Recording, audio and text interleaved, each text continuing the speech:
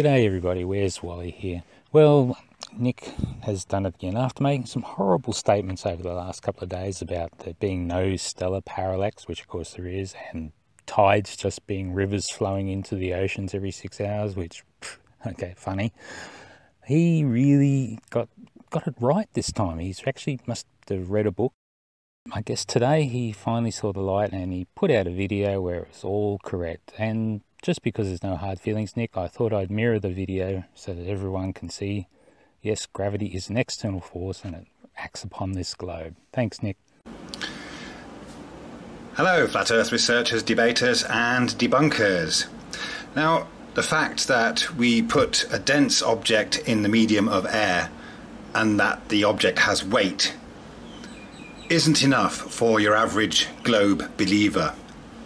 Of course, we live on the outside of a spinning globe. We have to have some kind of external force to make us stick to the outside of it. So uh, I'm going to demonstrate here how uh, gravity is proven to be an external force that actually creates weight and pulls everything down towards the center of mass. And of course, the, the globe is a sphere. So the center of that mass is in the middle of that globe. And that means that down is in all directions around that globe. Yeah? So uh, with this bottle of pesto, I'm going to prove that gravity gives it weight.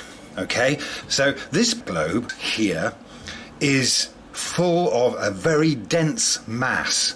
So dense that we, we just can't lift it up. It's really heavy. So it has all this extra mass, yeah? So this this mass is creating a force which when we put this this uh, pesto on the scales gives the pesto weight.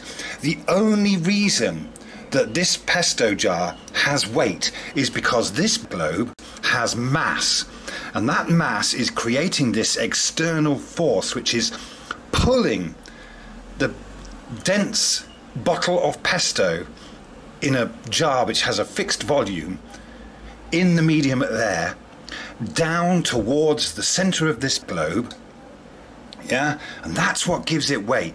That proves that we live on a globe and that there's this external force pulling everything down and, and that's what this creates this it's what makes this heavy has nothing to do with the fact that this jar is a dense mass with a fixed volume in the medium of air.